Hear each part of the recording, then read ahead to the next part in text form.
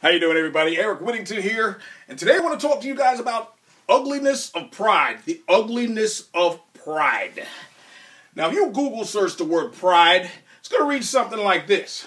The quality of having an excessive high opinion of oneself or one's importance. That's what it's going to read on Google. Now, in the Word of God, the book of Proverbs, chapter 29, 23, uh, a man's pride brings him low but a man of lowly spirit gains honor.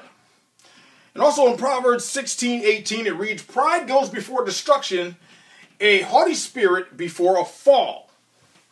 Now, the opposite of pride is humility. God opposes pride and gives grace to the humble. And that's found in 1 Peter chapter 5. Now, throughout the Bible, you're going to find scriptures like this. I mean, a whole lot of scriptures on pride. I mean, it's the ugliest sin ever. As a matter of fact, it's the first sin.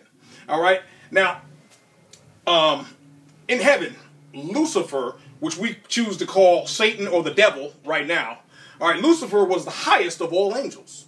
He really was. I mean, he was the number one worship leader in heaven. And he was so good, he got a third of the angels to follow him. I mean, he thought he was so good, he could overthrow God. He thought he could just take God's throne and just have God follow him, and he was just going to be the man up there. But you know what? God wasn't having that. God wasn't having that, and he threw him out along with the third of his angels. Now they're called demons and devils, and they're right here amongst us right now, wreaking havoc on the earth. Satan is never allowed back in heaven, ever, because he done messed that up, and he's been wreaking havoc ever since. Now, ladies and gentlemen, there's a there's a good kind of pride but just don't overstep your bounds with it. All right. Now, when I when I say there's a good kind of pride, I mean being proud of your favorite sports team, for instance. If your favorite team won the Super Bowl, I mean, you can jump up and you can cheer and you can shout, you know, and be like, "I'm so proud of you guys. You guys rock, man. You guys rock." Now, my favorite team is the Giants. I like the Giants. When they won the Super Bowl that year, man, I was dancing a jig. You know, I was so proud of them because they hit it, they rocked it. You know, and also there's a good kind of pride is where you can uh, be proud of your children. You know, if they're doing good in their academics, they're doing good in school, and they're always getting good work cards, that's something to be proud of. Oh, that's my baby. Oh, come here, give me a kiss. Mwah. I'm so proud of you. Hey, that's a good kind of pride right there. And it's also, you also can be proud of living in the United States of America, land of the brave, home of the free. You know, that's a good pride right there. But there's a lot of people out there, and I'm guilty of it myself, is we overstep our bounds as far as pride goes. You know, there's some people out there, if you hungry, you won't even ask for a scrap of bread. That's how proud you are. You'll be sitting in a food court somewhere, your belly button touching your backbone, you know, and you could even hear your stomach growling. And you sitting there licking your chops like a hungry dog. Mm, God, I wish I had some of that. Mm-hmm. You know, and somebody offers you some food, somebody offers to buy you some food, you be like, ah, that's all right, I'm good, I'm good, go ahead, enjoy your meal, I'm, I'm good, for real, I'm, I'm good, I'm good. And you walk away. How stupid is that? I'm gonna tell you something. If I'm hungry and I see you there, I'm not gonna have a problem walking up to you asking you for a little money so I can buy me something to eat. I don't care. I'll do it. I'll do it in a heartbeat. And there's some people out there, they complain to their coworkers at work because they broke. They ain't got no more money. They got more month at the end of the money. And they can't get to work the rest of the week. They can't put gas in the car or nothing like that. And they're steady complaining about it. Somebody, finally somebody gets sick of hearing it and they offer you a few dollars for gas and you go and you got nerve to refuse it. Ah, that's all right. I'm good. I'm good. Ah, that's all right. Well, then you know what? Walk your ass to work the rest of the week. If you're too proud to take a few dollars to put in your car, then walk to work. I mean, that's ridiculous. That's ridiculous. And, and another form of pride is this. If, if, if there's no jobs out there and you know you need a job, and the only place that's hiring is McDonald's, you're going to say to yourself, oh, hell no. I ain't working in no fast food restaurant. I ain't cleaning toilets. They don't pay nothing. You know, I wouldn't be caught dead working at McDonald's. You know, I deserve to be working Wall Street somewhere. I need to be a stockbroker making the big bucks. Meanwhile, you sitting on unemployment, sitting at home crying how broke you are. And McDonald's is hiring and you can get a job at any time there. You know what, stupid? It pays the bills. it pays the bills. You know? It's better than just sitting home doing nothing. So you better swallow that pride and go get that McDonald's job, scrub them toilets, flip them burgers, and you better be happy you got something. That's what I'm saying. Another thing that gets me about pride is um, you could be in an argument with some, argument with somebody, and you know you're wrong. You know you're wrong. But you ain't gonna you ain't gonna be man enough to apologize. You're not gonna admit your mistakes. You just gonna you gotta have the last word. You know, it's all about you. You know? You gotta have the final say all the time. You just you, you just got so much pride, you just can't admit it. You just can't admit it at all. And it, and it really is a shame. And what's going to end up happening to you is you're going to end up lonely, broke, pitiful, angry, and bitter. And nobody's going to want nothing to do with you. I mean, they'll put up with you for a while, but then eventually it's going to get to the point where you ain't got nobody in your circle of friends. Nobody. and the thing that really gets me is people that brag about themselves. I mean, if somebody gives you a compliment about something, and if somebody's giving you, uh, you know, some constructive criticism, you know, and I don't, I don't mind getting uh, constructive criticism. Like say, uh, like say you're a blogger, and somebody uh, gives you advice on how to write better blogs. You know, you're gonna get offended by that. You're gonna be like, oh, you know, um, I, I, I, don't mean no harm, but uh, I think I'm doing okay. I really don't need your help. I appreciate it, but look, you do your thing, and I'll do my thing. So if you excuse me, I got some blogging to do. That's stupid. If somebody that's been blogging a lot longer than you and knows how to make money through blogging and they're trying to give you advice on how to improve your skills and you don't take it, you're an idiot. You're a freaking idiot. And now let me tell you something. If somebody gives me some constructive criticism and tells me that I should do something better, you know, I, I could do I could do better if I if I did this or if I did that. Trust me, I'm going to take that advice. I'm going to be humble. I'm going to take that advice and I'm going to use it. If it's going to make me a better marketer, I am going to do it. No doubts, no questions I asked about it. None. And, uh, it, I mean, you just, it's, it's just ridiculous how people act with this pride thing. You know? Um, if you have, um, if you have a home business, all right, if you, if you have a, a, a successful home business, you know, and you've uh, and you and you took some time to build your team, you know, and you have a pretty good team behind you, you know, don't you know help your team out if they have questions about something and you know you have the answer to it. Don't tell them to Google search the answer. Don't tell them that you ain't got no time to help them. You know, don't tell them that you need an appointment to talk to me because I just don't have time. I got so much going on. You know, you you ought to be happy that you're even on my team. I made you. I'm the one that's to make you rich. So you got to have an appointment to even have a little bit of my time. Don't act like that towards your team. If it wasn't for them, you wouldn't have no team. You know? Because you sure didn't build it the right way. You sold to these people, and just because you got a smooth tongue, they got in. You know, because you promised them this and you promised them that. Now that they're in, you don't want to help them.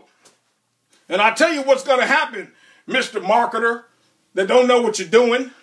You're going to end up losing your team. They're all going to quit on you, and you're going to be at ground zero again. To be ground one, try, starting all over again because of your stinking attitude.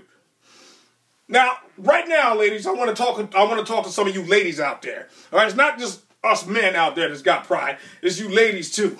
You know, I'm not talking about all of you. I'm talking about you know one or two or three of you or whatever. You know, got that pride. It's just it's just ridiculous how you act. Always looking in the mirror. Oh, I look good. Mm-mm-mm. Don't want to leave the house because your hair is out of place. Don't want to leave the house because your nails don't look right. Always got to have the latest fashions on. You know, got to have Everything's got to be perfect before you could even step out of the house. And when you step out of the house, you want everybody pointing to you and saying, "Oh, oh, she's so beautiful," and they're singing the song, "Isn't she lovely? Isn't she wonderful?" If you don't hear them singing that and singing praises to you, you bitter and you mad all day. You know, if you see somebody, if you see one of your girlfriends got more than what you got, they driving around a nice car, got a nice mink coat, got a nice diamond ring on, and you got and you and you got uh, you know something nice. I mean, you got a fur coat, but it's not a mink, and you got a nice looking ring on, but it's not a diamond ring. It may be a diamond ring, but it's not 18 carats or 14 carats like your friend. You know, maybe it's like one or two carats. You know, and, and you got a good man at home too. You got a good man at home taking care of you, doing what he's got to do to provide for you and make you happy. But yet you want to nag and trip out about the things that your girlfriend's got and you ain't got. So you're always on the man's case. He come home from work, you're always in his face. Well, you know what? My girlfriend's got a mink. My girlfriend's got this and my girlfriend's got that. How come you don't get me this? How come you don't get me this? How come you don't buy me this and buy me that? You know, there's no affection at all. You don't give the man a kiss when he comes home. You don't have dinner ready for him. You know, there, there's no affection whatsoever. You know? I mean, the highlight of the man's day is getting up to go to work. I mean, when it's time to punch out for the day, he don't even want to come home to you because he don't want to listen to your stupid mouth. He don't want to listen to it. He, would rather just check in a hotel somewhere so he can get a good night's rest. I mean, it's really bad when you got to go to sleep stressed out because you in his ear all day. You know, it's, it's ridiculous. You know, be happy with what you have. Because I'm, I'm, I'm talking to some of you ladies out there. If you continue tripping and acting the way you act, you know, and treating a man like like like whatever, you know, like he ain't nothing, like he's beneath you, you know, he's gonna end up with somebody else. That's just the hard truth. That's the reality of it. You know, there's, there's plenty of women out there that are looking for a good man. And believe me, when he leaves your ass, he gonna get with somebody that appreciates him. And you gonna be broke, lonely, bitter, angry, and just pitiful. Just straight up pitiful and you're gonna be you're gonna be crying that you lost a good thing. So just keep it up if you want to. Keep it up. You need to appreciate your man. And guys, you need to appreciate your women. I mean, if they're treating you like gold, don't be acting like because the same thing goes for you guys too. You know, give me this, give me that. Uh, you know, I, I work hard and you should give me this and give me a. You know what? Forget all that. Be happy with one another. You know, show affection to one another. You know, get all that pride out of your house. You know, that's that's that's ridiculous. That's ridiculous to be acting like that. Now, ladies and gentlemen, I um when I get compliments on uh, my art or my DJ uh, DJing and all that stuff, I'm very humble. I'm very humble. I don't be like, I I know, I know you. Hey, tell me something I don't know. I, I'm not like that. I'm not like that at all.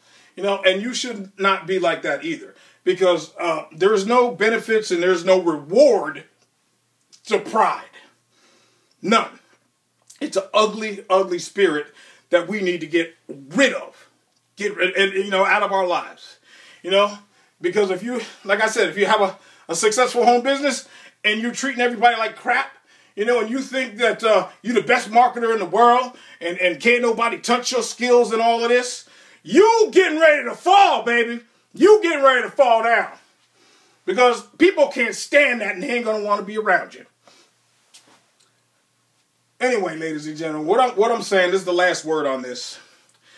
Be humble and you will stay blessed. Get that spirit of pride out of you and treat people like you would want to be treated. All right? That's all I'm saying. Ladies and gentlemen, if you got some value out of this video, please connect with me on Facebook and uh, I will be glad to uh, talk with you. And another thing, if you guys are looking for a uh, to have a successful home business and you want somebody to actually help you so you can make it, hey, get with me. I can help you do that. And I'm not going to be standing up there being like, ah, oh, you need an appointment to see me. You know, I mean, I'm just, I just got, I ain't got time for you. I ain't to act like that. I'm going to help you if you need the help. And I'm going to help you make as much money as you want to make and help you get to the top. And pride ain't got nothing to do with it. And I suggest that when you be when you're when you're successful in your business, I want you to have humility and help your team get there as well. I mean, teamwork makes the dream work. That's all I got to say. Teamwork makes the dream work, and pride ain't got nothing to do with it. So if you got pride, get out of it. If you're jealous of somebody because they got more than you, get over it. Because you eventually will get what you want because you're humble. Because pride doesn't get nobody nowhere but alone, broke, and ugh. I, I, I, I, hate even talking about this because it's just it's just ugly. Anyway, ladies and gentlemen, I love you. Thank you for watching and connect with me on Facebook. Take care. Bye bye.